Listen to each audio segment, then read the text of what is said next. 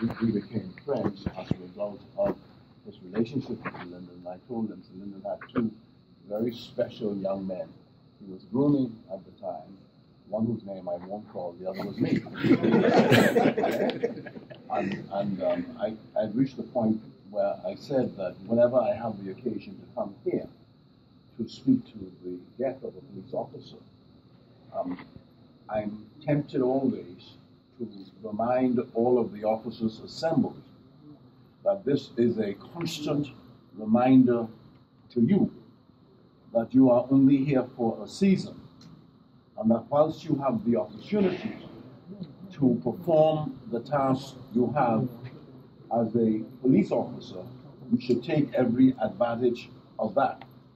And as we have um, a number of ministers of religion here present, Reverend Francis, who's here in support of the family and who I know well, she heads uh, Saxon Church. and I, I, I, take delight in going there, but I noticed that she has not invited me there this year because the Valley Boy. Amen. You know, so I thought I should say that. Amen. I know Pastor Earl is listening, um, and he's listening at church, but I'm happy that you are here for support for this reason.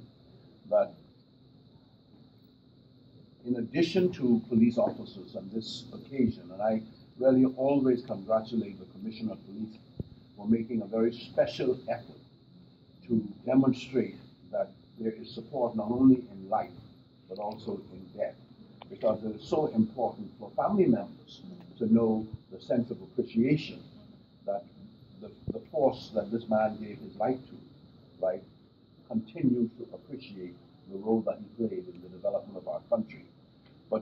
There is always a bit of scripture for me, and, um, and I will be tempted to use two pieces with the indulgence of um, there's Reverend Ferguson here too and, and Father Davies.